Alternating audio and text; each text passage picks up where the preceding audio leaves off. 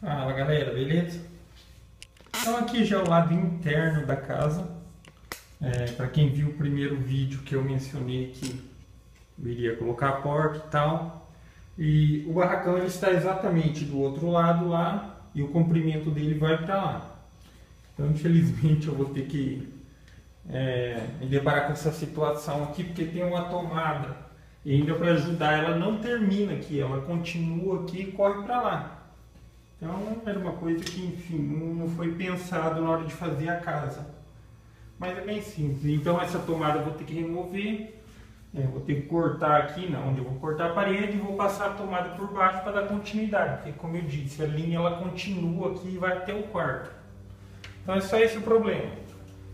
Então, outra dica também.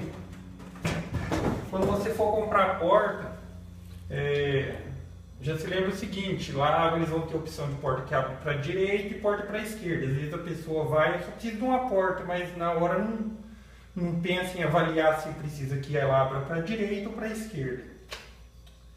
Então isso é bem simples. No meu caso aqui ela vai abrir para a direita, ela vai sair da esquerda, vai abrir para a direita, para quê? Para encostar a parede lá do barracão. Poderia abrir também para o lado de cá, mas já que o canto da parede lá comumente não usa, ela vai abrir dessa forma. Vou colocar ela aqui. Então, o primeiro passo vai ser fazer a demarcação. Eu vou tentar cortar o, o menos possível, por assim dizer. Então, eu vou utilizar a própria porta como referência. Eu vou marcar aqui. Vou fazer uma marcaçãozinha na parte de baixo e na parte de cima e vou começar a quebrar pelo lado do barracão, para evitar de fazer tanta sujeira aqui dentro. Mas enfim, na hora de varar a parede vai ter que quebrar, mas primeiro eu quebro de lá para cá, quando eu tiver a última camada de, do tijolo eu quebro para lá.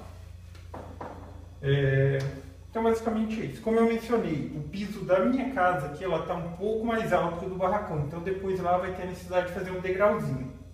Mas enfim, isso não vem a ser um problema. Então é isso aí, galera. Gostou do vídeo? Dá um joinha, se inscreve no canal. Em breve eu posto a continuação desse vídeo e de outros vídeos. Falou?